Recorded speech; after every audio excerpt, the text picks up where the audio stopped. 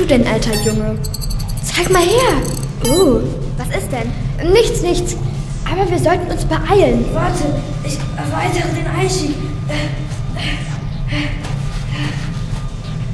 So, jetzt müsste es passen. Los, Filou, hinein mit dir. Na los, such den Knochen. Braver Hund. Du musst Filou vorbeilassen. Ach nee, weißt du, wie eng das ist? Au, meine Nase. Jetzt ist er drin. Na los, Filou, beeil dich. Was ist los, Titus? Ach nichts. Titus. Okay, Filous Einbrecheralarm hatte sich gemeldet. Und was heißt das? Ach nur, dass dort draußen jemand herumschleicht. Und wer soll das sein? Ein Einbrecher zum Beispiel? Hier?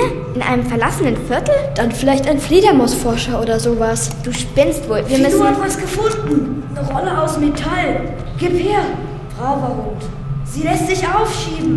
Da ist was drin. Wir haben es geschafft. Halt Philo fest, Leo. Wir ziehen dich rauf. Los, Titus, fass mit an.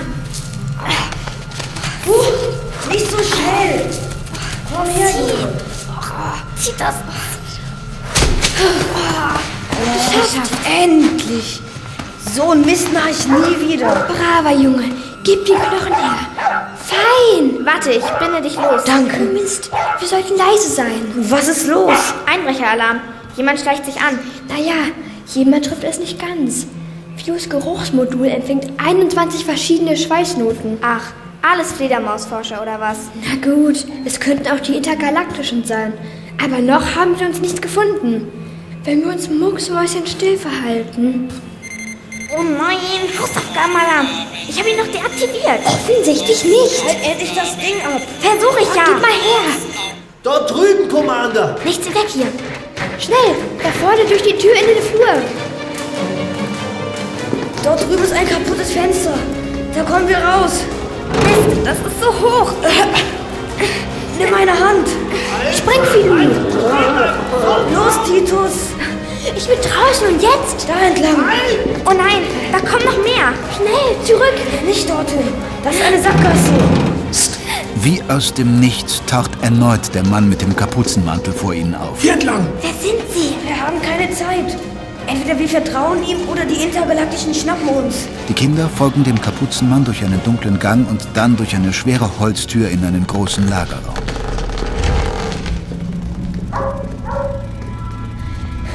Alles voller Bergwerksgeräte. Krass, da drüben lagert sogar Sprengstoff. Das muss Fred Nabenhans Lager sein.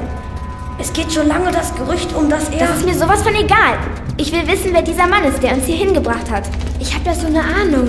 Sie sind der graue Mann. Habe ich recht? Der Mann im Kapuzenmantel rührt sich nicht.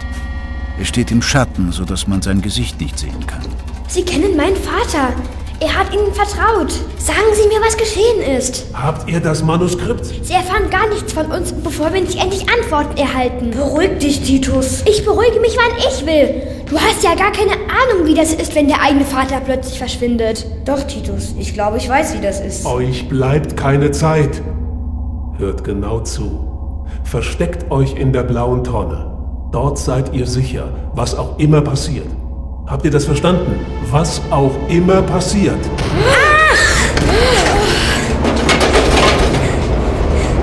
Mehrere Zugänge werden gesprengt. Durch Rauch und aufgewirbelten Staub hindurch stürmen die intergalaktischen Schutztruppen in das Schmugglerlager.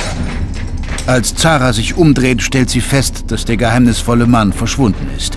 Titus öffnet hastig den Verschluss des Metallrohrs aus dem Grundstein und zieht die Manuskriptrolle hervor. Was hast du vor, Titus? Fress ihn, Filou. Bist du irre? Lecker, happy, happy. Das sofort her. Zu spät. Hast du einen Knall? Von überall strömen die Soldaten herein und besetzen die Ausgänge. Hände hoch und keine Bewegung. Na was denn nun? Hände oder keine Bewegung? Keine dummen Sprüche, Junge.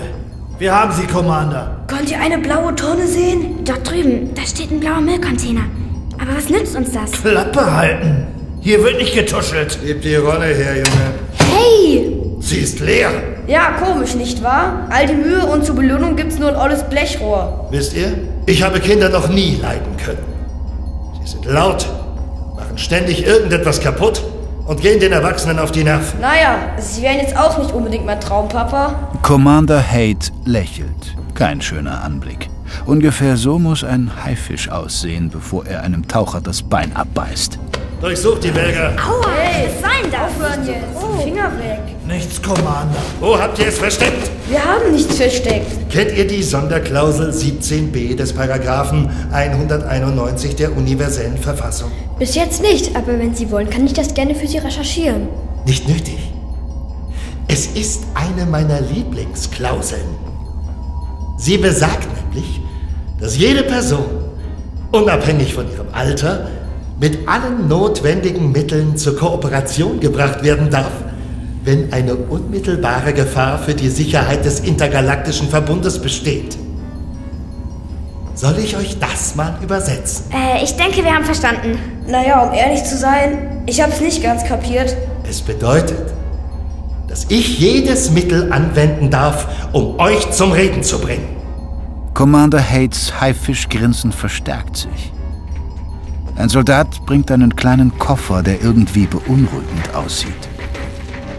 Commander Haight klappt den Koffer auf und holt eine riesige Spritze mit einer giftgrün schimmernden, blubbernden Flüssigkeit heraus.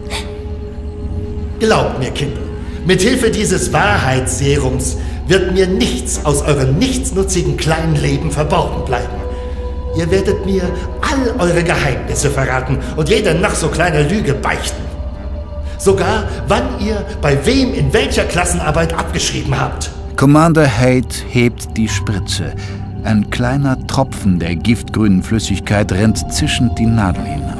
Das Ganze hat auch ein paar kleine Nachteile. Die meisten Leute können gar nicht mehr aufhören zu beichten und bleiben irgendwann als brabbelndes Wrack zurück. Also, wo ist das Manuskript? Sie sich jetzt Ihren 50 Euro Willkommensgutschein für Bücher, Filme, Musik und Hörbücher beim Christlichen Club, dem Medienclub mit der großen Auswahl. Mehr unter der christliche Club.de